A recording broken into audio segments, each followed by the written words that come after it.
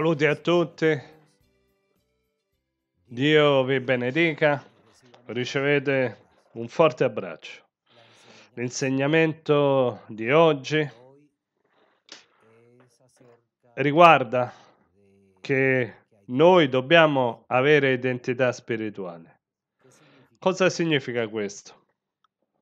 Quando uno ha identità spirituale è perché lo caratterizza qualcosa che lo fa diverso e distinto di fronte alle altre persone, agli esseri umani.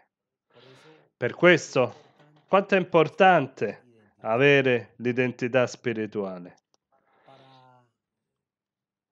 Per avere questa identità spirituale, qualcosa che ci identifica e ci caratterizza, è che siamo div- diversi, che siamo questi veri cristiani. E allora partiamo dal libro di Esodo, riguarda la lettura dei dieci comandamenti, capitolo numero 20, verso 3.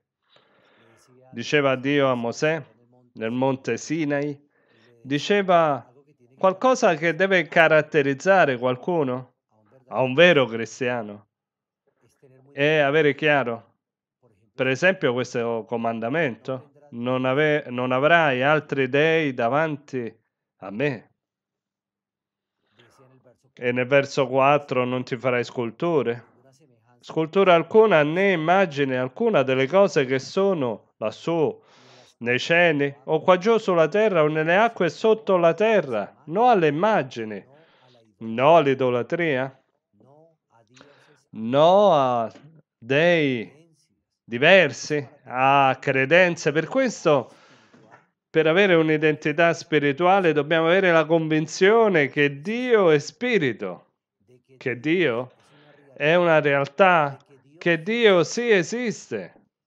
Però sappiamo che il nemico si è occupato di distrarre l'umanità, che non cerchino veramente questo Dio che narra la Bibbia.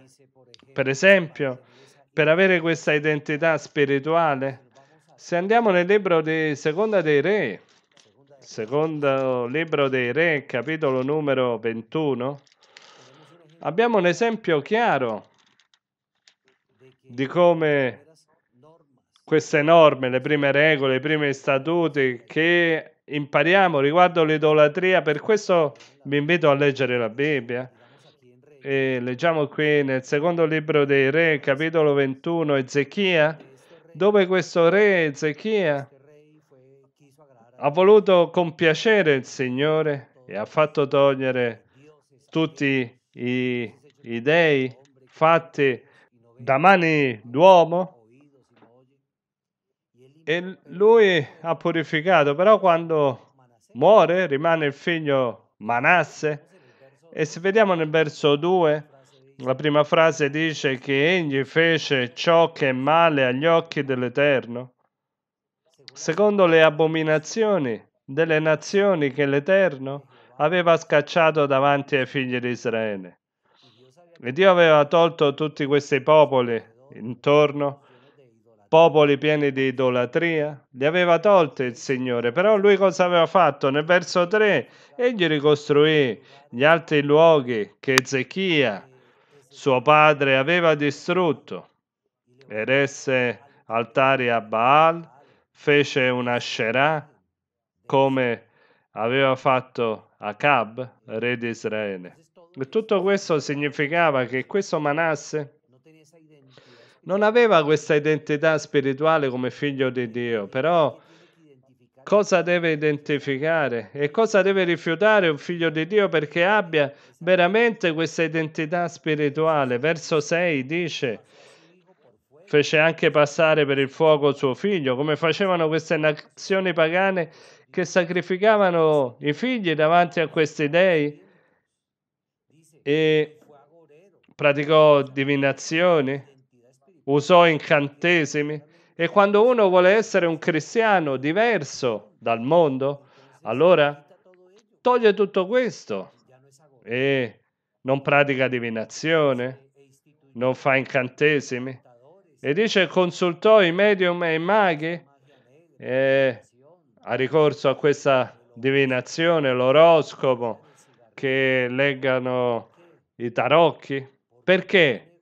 Perché ha una identità spirituale che lo fa diverso dagli altri.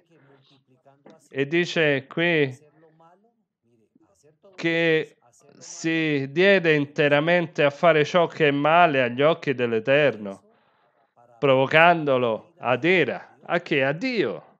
E per questo Dio lo castiga, castiga l'individuo quando non ha questa identità spirituale definita, quando veramente la persona non vuole rendersi a Dio. E dice la Bibbia. E guardiamo la raccomandazione per avere questa identità spirituale.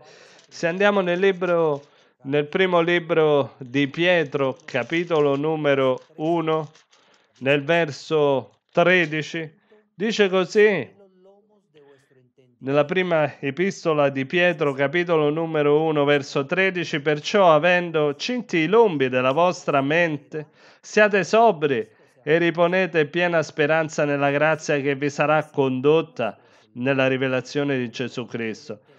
Dobbiamo cingere i lombi, significa captare l'Evangelo, la dottrina per voler compiacere il Signore, per voler veramente essere figli di Dio, per avere questa identità spirituale definita che dicano questo uomo, questa donna è diverso. Perché? Perché ha un'identità spirituale, perché secondo il suo intendimento ha imparato ad essere sobrio, moderato, nulla di fanatismo, non andare alle esagerazioni. Però se io ho una vita moderata, sobria, con la volontà di essere facitore della parola del Signore e quando uno ha questo nel suo cuore e nella sua mente ha questa identità spirituale definita. Il verso 14 dice come figli obbedienti, non conform- conformatevi alle concupiscenze del tempo passato quando eravate nell'ignoranza. Molti di noi non conoscevamo Dio, non conoscevamo l'Evangelo, non conoscevamo questa verità, non conoscevamo che Dio veramente è spirito e verità e per questo eravamo ignoranti riguardo Dio. Quanti di noi non avevamo aperto mai una Bibbia, però uno ha l'opportunità di conoscere il Dio vivo e oggi comprendiamo che Dio vive, che Dio esiste, che Dio è una realtà, che Dio è spirito e verità e per questo continua ad insegnarci qui per avere questa vera identità spirituale, quello che ci caratterizza e ci fa diversi dagli altri esseri umani. E per questo nel verso 15, ma come colui che vi ha chiamati è santo, lui è santo, voi pure siate santi. Dobbiamo appartarci, allontanarci per il Signore. Quando uno si allontana dal mondo, dal peccato, è perché sta avendo un'identità spirituale per poter compiacere il Signore.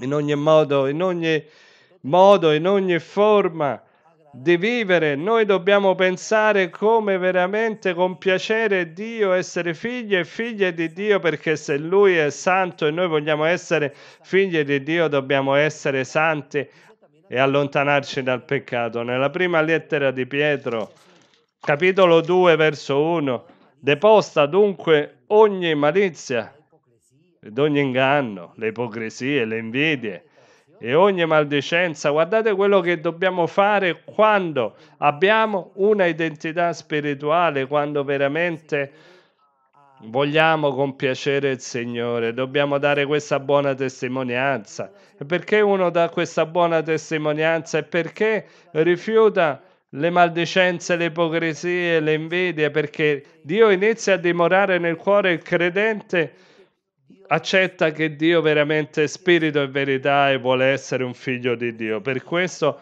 vuole avere un buon modo di vivere, per questo lascia l'idolatria. Perché?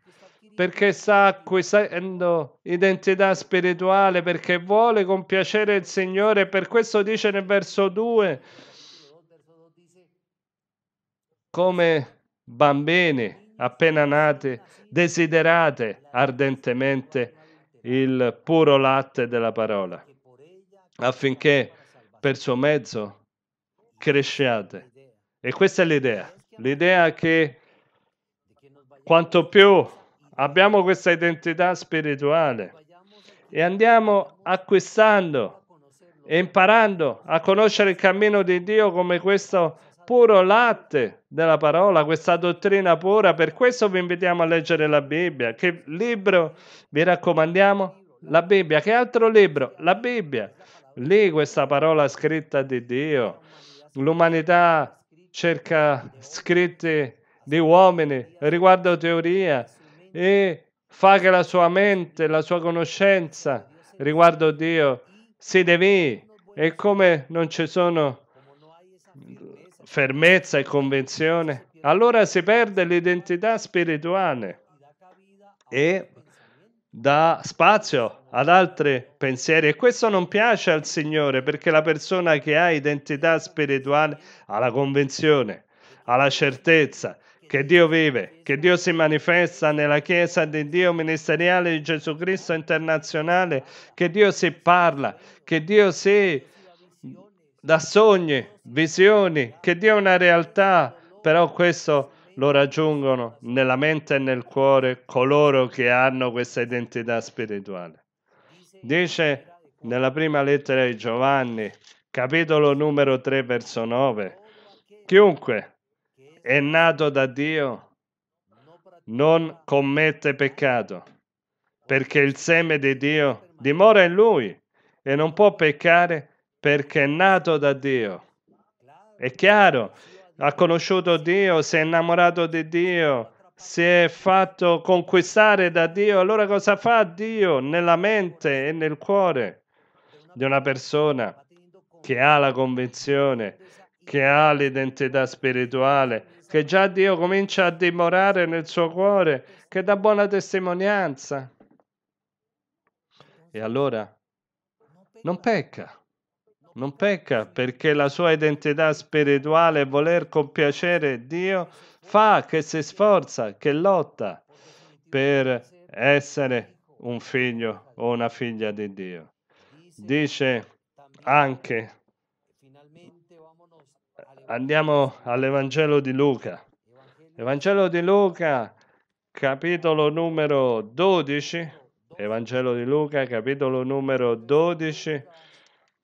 Capitolo numero 12, nel verso numero 8. Evangelo di Luca, capitolo numero 12, verso 8. Dice così la parola del Signore.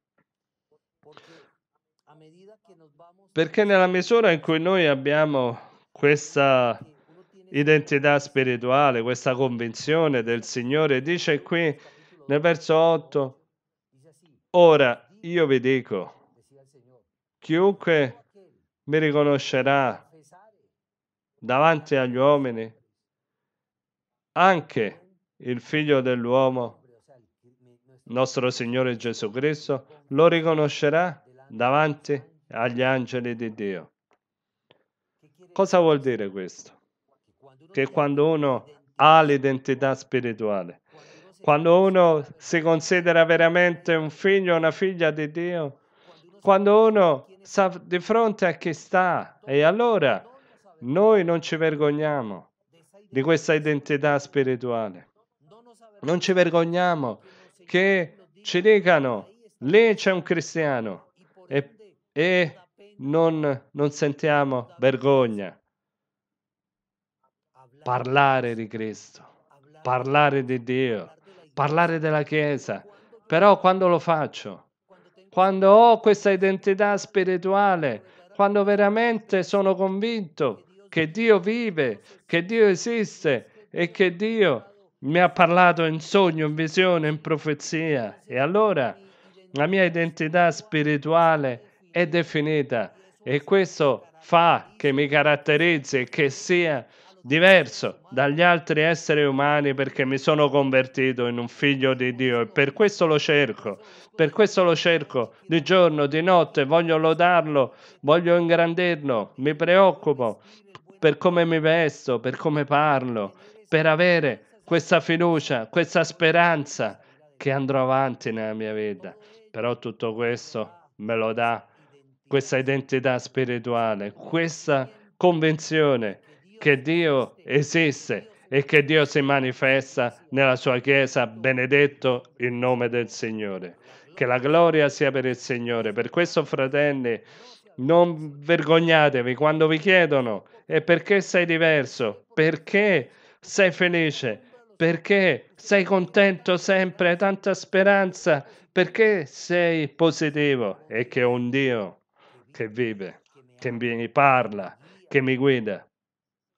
Questo Dio di speranza, questo Dio che mi domina, che domina la mia mente, che domina il mio corpo per compiacerlo e per questo dobbiamo avere identità spirituale. Sì, si può, fratelli, sì, si può. Sì, avremo questa identità, questa fermezza, questa convinzione, questa identità spirituale che voi e Dio siamo speciali, siamo i figli di Dio, benedetto il nome del Signore. Adesso preghiamo, fratelli, e diciamogli, Signore della gloria, Padre buono, grande e potente sei tu, grande e meraviglioso sei tu, Signore. Che tutta la gloria sia per te. Estendi la tua mano su tutti quelli che stanno ascoltando quest'audio benedicili, guariscili, liberali, benedici le famiglie. Ci sono tanti conflitti nei matrimoni, che ci sia più pazienza, più comprensione e che questa identità spirituale siamo tolleranti gli uni con gli altri. Aiutaci nella parte economica, guarda i debiti, gli impegni che ci sono, chi sia tu aprendo porte a chi non ha impiego, ad essere buoni amministratori del poco tanto denaro che passa nelle nostre mani spiritualmente, Signore. Io so che dopo questa meditazione, questo insegnamento, tanti loderanno il Signore. Dagli esperienze meravigliose e manifestati, battezza, riempili di te. Ti chiedo per la nostra sorella Maria Luisa perché tu la benedica e la riempi della tua grazia, del tuo potere e del tuo sostegno, che sempre dalle la salute, il vigore che le vediamo e che sempre siamo imitatori di questo buon esempio, come è la nostra leader a livello mondiale, la nostra sorella Maria Luisa. Che Dio vi benedica, che Dio vi protegga e che Dio ad ognuno di noi ci dia questo potere, questa intelligenza, questo senno che dobbiamo avere questa identità spirituale ed averla ben definita. Presto, fratelli, Dio vi benedica.